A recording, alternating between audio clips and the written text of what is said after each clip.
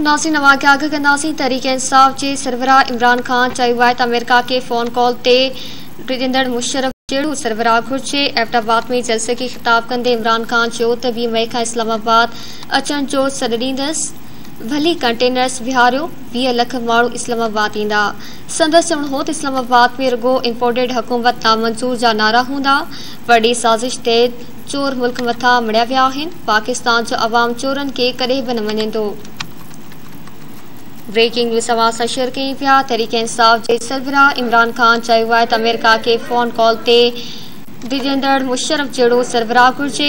एबटाबाद में जलसे खे ख़िताबु कंदे इमरान ख़ान चयो त वीह मई खां इस्लामाबाद अचण जो सॾु डि॒न्दसि भले कंटेनर्स बिहारियो वीह लख माण्हू इस्लामाबाद ईंदा संदसि चवण हो त इस्लामाबाद में रुगो इम्पोर्टेड हुकूमत तां मंज़ूर जा न रहूंदा परे साज़िश ते चोर मुल्क मथां मड़िया पिया आहिनि पाकिस्तान आवाम चोरनि खे कॾहिं बि न मञंदो